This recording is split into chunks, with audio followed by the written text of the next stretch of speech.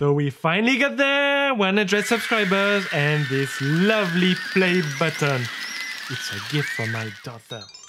And to celebrate with you, I'm doing a special episode today. Let's create this fantastic animation.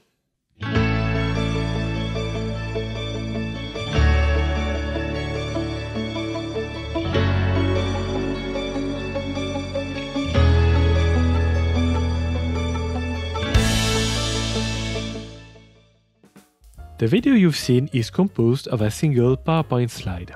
You can download the example files for free.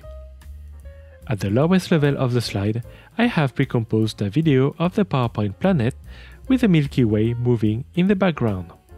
We'll see later how we made that video, but for the moment, if I play it, this is what we see.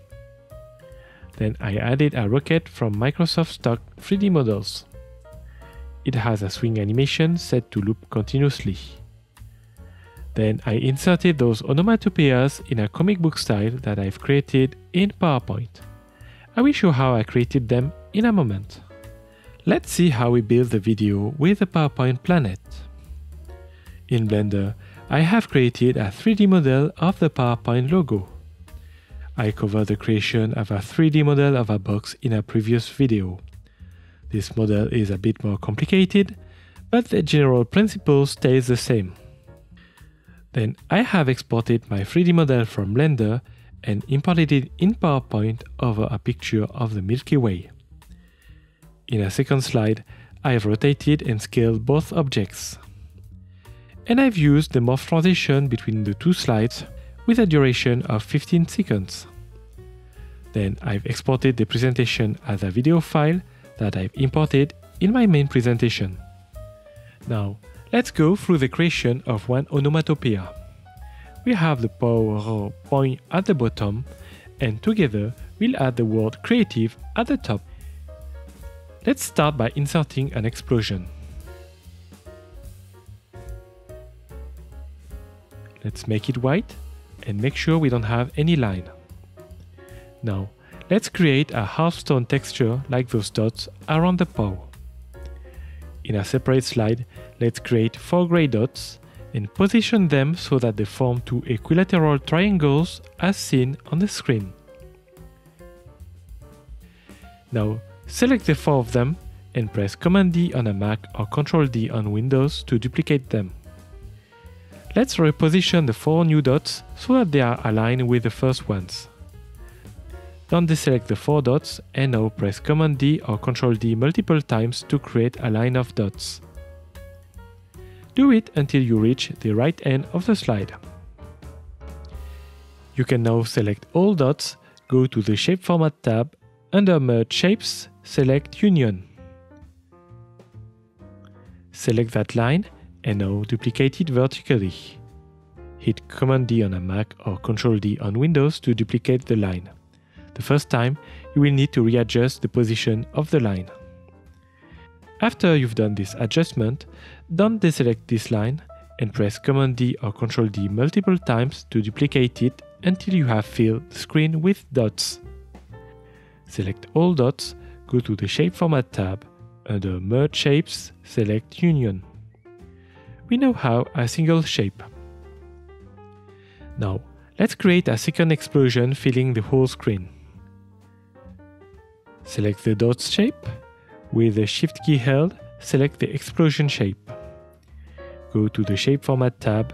Under Merge Shapes, select Intersect. We can now copy this new textured explosion and paste it on top of the first one. Let's also create a third explosion on top, this time with a color gradient. Choose any color you want. Let's add a black solid line with a width of 2 points. Let's now add a text. You can use the font named Bangers, freely downloadable from the internet. Let's give the text a black outline with a width of 2 points. And let's add a shadow.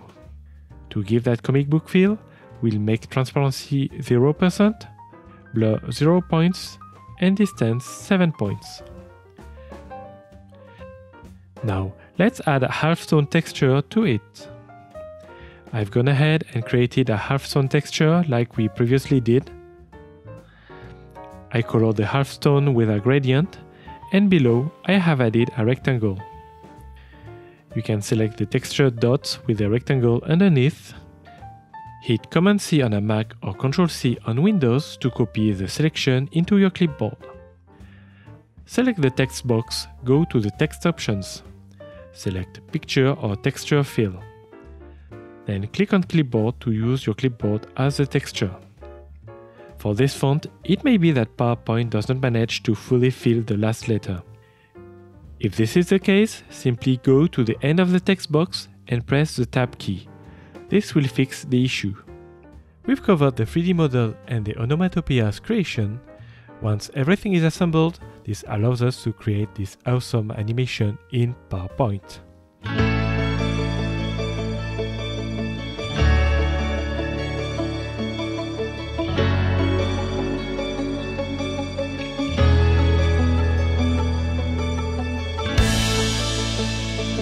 A big thank you to all the people who are watching and encouraging me every week. I hope we can make a lot more videos together. And if you like what I do, I'd like to ask you for a favor. Please subscribe to the channel, leave me comments, and invite your friends and colleagues to join. And I'll see you next week. And don't forget, every creative day has a creative PowerPoint. Bye bye.